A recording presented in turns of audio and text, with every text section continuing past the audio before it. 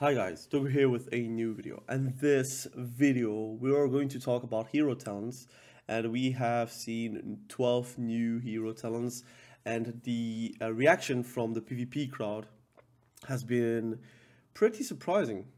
Um, I must say that I'm not surprised. People are like very afraid of new things and whenever I was like making a video about hero talents my concern was that it would not change too much on the playstyle. It would not feel like it would be something new, but like just pure, purely passives. And it would not change your playstyle and would not be exciting. And uh, from the 12 new ones that we got, it seems like it's very exciting. It seems a bit OP in PvP, but it seems like it's going to be fun to play. And uh, I think for me, the most important thing would be how uh, possible it is to play it in PvP. So either it's OP, either it's going to be balanced, or either it's going to be underpowered. And in my opinion, if it's balanced or OP, it's way better to um, to balance it around than being underpowered because of like a PVE mechanic because it's purely PvE, for example, it would break CC or it would be not, not really usable in PvP situations. That would be a boring thing. And it's very hard to balance it towards PvP for that matter. But right now, those 12s were looking pretty cool, pretty fun, and uh, um, it's completely different from what we had the previous the previous uh, hero talents, I would say and um, so there is a lot of things that will have to change probably uh, from the the first ones because these ones are like completely uh, better in every regard than the first draft of hero talents that we got. Now that's my opinion for the 12 hero talents that we got for uh, DKs, shamans, warlocks, even DH. Um, now, I'm not going to talk about every single hero talent. That's not going to be the, the, goal of the video. The goal of the video is actually talking about my hot take uh, based on the Reddit posts that we have currently, but also just also the um, hero talents that we got on Wowhead. So if you want to check it out on Wowhead, you can check it out. I think I'll be making build videos once we have the alpha. But uh, right now it's like pointless to talk because I think there is just no numbers. So again, I will all be talking about like nothing about like air. I don't want to play about that. Uh, so my hot take would be I actually like the new hero talents for PvP. I was concerned that it would not be enough flavor, but it but this seems to have enough playstyle changes to keep PvP interesting. So this is my thing. I I, I prefer to to have uh, the game ever changing to the point where it's adding up and not really like taking away from. Um, from Shadowlands to Dragonflight, we got a new talent system, which is good. And then from Dragonflight to War Within, we got Hero Talents, which is going to add more depth towards the class that we have. And people are concerned about balancing, as if balancing wasn't always a problem in the PvP game. So th this I really stand by it. I think balancing will always be a problem. The issue with balancing is how uh, little there is. Like if it's not often enough to keep it fresh, to keep the meta moving, then it will be feeling like very bad. Like for example, the DH meta that we are currently in, it's very hard to to appreciate it whenever it is like two months long. And we know that right now we just need balancing, any balancing. And that is the problem with balancing. If it is not done, like attempting to balance, then it feels bad. But being concerned about a playstyle or uh, hero talents that are going to come out without like knowing how it's going to be in PvP because they might like slash it in two. For example, it would be minus 50% in PvP. It could be also minus 75% in PvP. It could also just not be usable in PvP sometimes because it's not outdoors or whatever. Or it would be a break CC again, balancing, we'll have to know it in alpha and beta, and we'll have to give feedback to the devs. But that's our job to give feedback to the propositions that they have because they have it in their mind. It's very hard to uh, crack down their own ideas um, if we're not going to give feedback. Again, I'm not really hopeful about like real herd feedback because it's just how it is. They, they did that for Dragonflight as well. But uh, at least if it's keeping changing and it's going to be patches and and hot fixes and uh, balancing, then I think it's not a problem. I think if people really want a balanced game out of World of Warcraft, like a purely balanced game with no balancing changes because it is a balanced state, it will never happen. Never. It never was and was never the case. So we are already like in 11.0 in War Within. So it means that we have like 10 or 11 expansions. I don't even know anymore. It was never balanced. So people should stop cons- be concerned about balancing, like balance the state, and be more concerned about the rate of balancing, which is the most important thing for a PvP game. If it's balanced, if we get balancing patches every two weeks, every three weeks, every week, then it would be that the meta is ever changing and you, you would have your turn. For example, Enhancement Shaman, I feel like I never had my turn in Dragonflight. It would have been good to have one day like a good balancing patch for Enhancement Shaman. And I'm not I'm not asking for OP, I'm asking for an attempt to make it more balanced. And that's actually what I like about PvP, that it's always going to be moving. For example, that's why I like League of Legends if I play Renekton, I could be doing very well because of items, because of the champion, and the balancing changes every two weeks, so it could change anytime. Also, my matchups, if like a counter of mine is getting nerfed, then it means that I'm going to be better, and that's also working for World of Warcraft. So that's what I like about PvP. People don't quit games because it's too complicated, and that I stand by it. I think people concerned about complicated uh, kids and people leaving the game because it's too complicated and PvP is too complicated, too hard to learn, I think they're wrong. I think the, the thing that makes people leave the game is because it's unrewarding, not fun, predictable, and the meta is stale. That those are the reasons why people leave the game. If they are not having fun, if it's predictable because the meta is like full DH and every single game you're going to have has a DH over Warlock, for example, uh, or the meta is stale because there is lack of balancing. Lack of balancing again, not lack of that it be, is balanced, but lack of attempt of balancing the game, and rewarding because they are not adding more rewards towards PvP. And some people really need the carrot on the stick to be always moving towards a goal. And again, that's the, the reasons why people leave. Or because it's too hard to go in because you, you need gear and you have to PvE, you have to uh, PvP for uh, 10,000 hours to get like the best gear. That would make people leave. But in Dragonflight, that's not the case. I think you can have honor gear pretty, pretty easily on one day. Conquest gear is a bit harder, but again, you, you can work towards it. And it doesn't take like two weeks to get like full Conquest gear if you're playing like normally uh, I would say like even two hours a day, you could really like gear up very quick. And in War Within it will be even faster because they are going to remove vaults or the, the conquest gains are going to be higher, so you could also buy more pieces. But overall, people are not leaving because it's complicated. People can learn, people are flexible.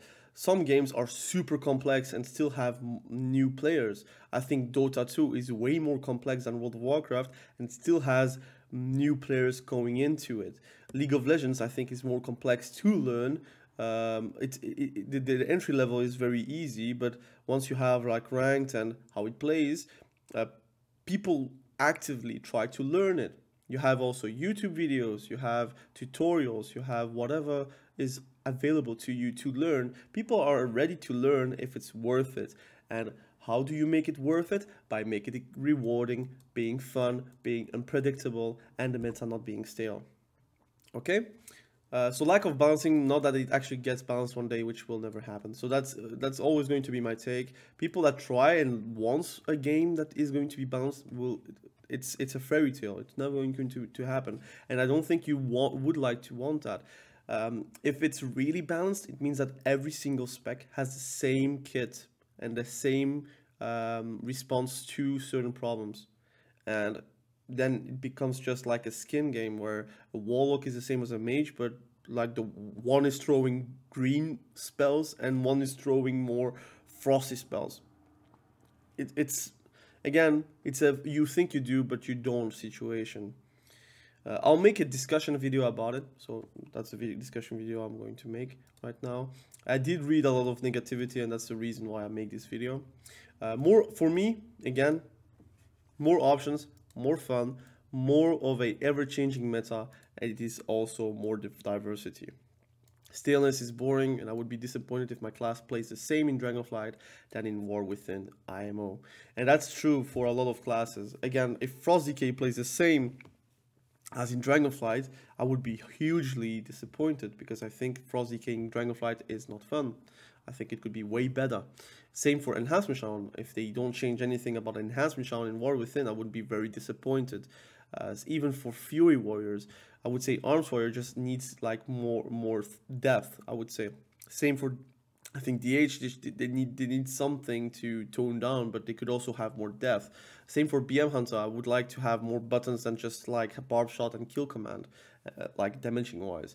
Um, I want things to be extra, not like that you are like doing the same as previous expansions, and also not like you are taking things away from me uh, without compensation. Again, whenever I'm saying like you need to remove uh, a certain stun for the age or you have to nerf certain things, I'm also like, like a uh, defendant of if you remove something, you have to compensate it somewhere, and uh, I think if you compensate somewhere, then I'm, I'm, I'm, I'm fine. But if you're just removing stuff, you're just making it less fun for the people that play that certain class.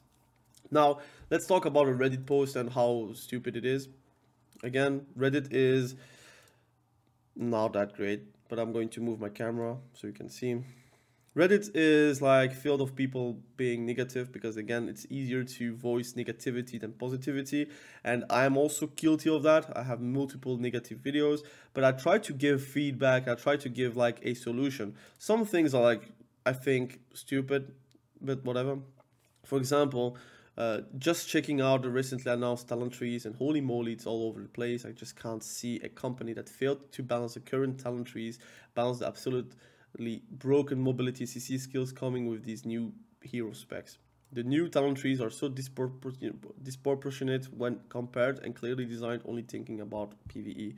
Now it is designed about PvE, but will probably also about fun. I think. They are like setting up a, a, fantasy and they are going to try to make it the best that it is possible to have fun wise that's how they their, their goal is i think. It's also the, the a great step towards that competitivity and balancing always comes afterwards. You cannot balance something first and then make it come out because you you lose way too much time. Balancing takes way more time. You have to see and implement that spell into the kit and then see how it reacts with the kit and then react around the environment of PvE and PvP and see how it goes. You cannot really balance something and then hope it's going to be balanced before testing because maybe you would have wasted so much time on something so tri- trivial which is balancing balancing always comes afterwards always in any games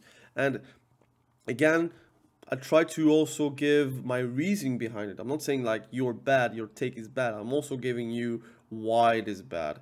For example, here I would imagine that they put zero thoughts about how they interact with PvP. I don't think so. I think they do, but they, they are going to balance it afterwards. Something that is 75% might be cut in half or in three to have something balanced. Uh, they're 100% more concerned with the aspect of the game over PvP, which is just a side mode at best. But that's, at the end, it is true, but I do think that you, you guys, the people are very negative about it. Again, I'm not thinking like everyone is going to be like this, but you have to think about fun first and how it's going to interact with your kid And yes, you can be concerned about your class not having great hero talents compared to others. That's a legitimate a concern that you could have. Like for example, I feel like uh, the um, the BM ones are not that great in my opinion. I think it's very boring. It feels like a four set to me, but that can always be changed because of feedback. Now, that's my take. It could be very fun for someone else.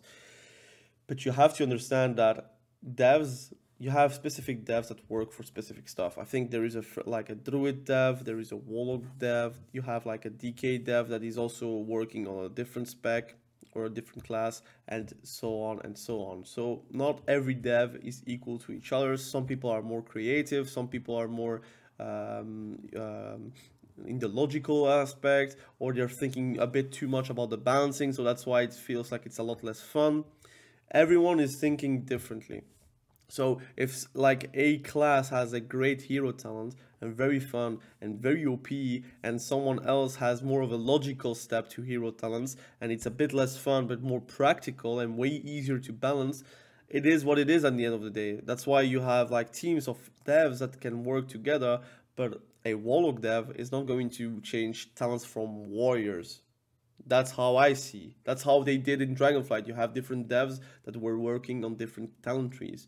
So I assume they have like a goal together, but some people think a bit more like in the future where they say, look, I can make it OP, but it will be not be practical because it's way easier, way harder to balance. So I'm going to make it more balanced, a bit less fun, but at least it's easier to tune. That's the issue that we have in hero talents, but that's completely different with balancing or whatever. And people are concerned about balancing on a, something that is not even in alpha. Again, I think people should be concerned about the PvP systems. That is a legitimate concern. That's something you could actually voice right now. That's something you could say, but PvP systems, where are we going to talk about it once? That is something you could talk, but hero talents, it is a feature for next expansion. They're not going to remove it for PvP. They're going to implement it for PvP and then balance it around.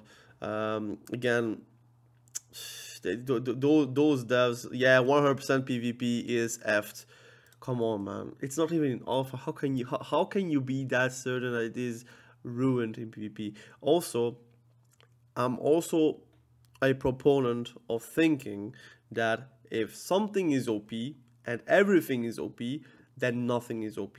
Now, balancing should be happening. I think there's like a few talents that are a bit OP. Let's be real.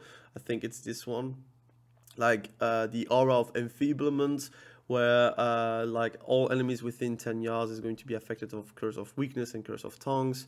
I'm going to be honest, a warlock is not going to stand 10 yards from a healer. They're going to be 10 yards from a melee, so Curse of Tongues is not going to be very effective uh, towards those guys. 10 yards is really, really close. Like, it's it's nearly a auto attack range but it's still going to be real balanced in PvP. I think in PvP it's going to be halved or even uh, like again it's at 75% effectiveness. The Curse of Tongues I think it's like 20% I think PvP right now. So 75% would be 15% or like close to that. I'm not even calculating right now, so I might do and say stupid things. But I think again, people are concerned about things that should not really be a concern right now. I think the concern would be like, are those towns fun to play first and foremost? Is it something you're going to play around if you're PvPing and then see if the balancing is alright? Guys, again, you could be concerned about a lot of stuff. I think PvP wise, we are not like, we were the black sheep. It is what it is. They're not going to make like a huge uh, fire chat, whatever how it's called, like a fireside chat about PvP. They're not going to do that. They're not going to talk 20 minutes about PvP and how they see about PvP in the future, like they would do for Mythic Plus or for raids. It is what it is. We like World of Warcraft PvP for what it is. But I'm going to say, I'm going to have a lot of fun. I think playing a warrior with the Slayer talents, it feels really fun if I'm going to play. Also Fury Warriors are going to get Bladestorm again so I'm very excited about it. Uh, that that that that would make Fury Warrior have a lot less problems uh, in PvP for example. But um, I think it's hugely fun to play around that and you can change whenever you want. So you could play uh, Slayer or you can play the Colossus or you can play Mountain Thane if you're a Fury Warrior you have tools to to have fun. I think that's the main concern you should have uh, going into War Within. Is it going to be fun? Is it going to be practical? Is it going to be something you would like to do in PvP? And then you can see, okay, how can we balance it? How can we make it less frustrating for the enemy team? How can we, like if it's a AoE stun, is it going to be a reduced AoE stun? Instead of like a 4 second stun, it would be a 2 second stun, for example. They could do something like that, but people should realize that right now the concern about War Within and the hero talents are not about balancing. You, the, the numbers right now are not what is going to be final. It could be 10%, but it could also be at the end of the day 25%. It is reducing 10% um, of cooldown of overpower, which is really bad. That this is a really bad talent, for example. So they would probably make it 20%. That's true. 10% overpower is really bad. I think it's one second. It's it's not good. But then you have another one, which is like Slayer Strikes have a chance to reset the cooldown of Blues Bloodlust and Overpower, which again is very very fun. But again, you you, you have to you, you have to realize um, right now people are concerned about things that are like really a non-issue. I think people should talk about how PvP will be in War Within and then how the gameplay will be because we're like too far away. Like it's not even alpha. Nobody has it in their hands.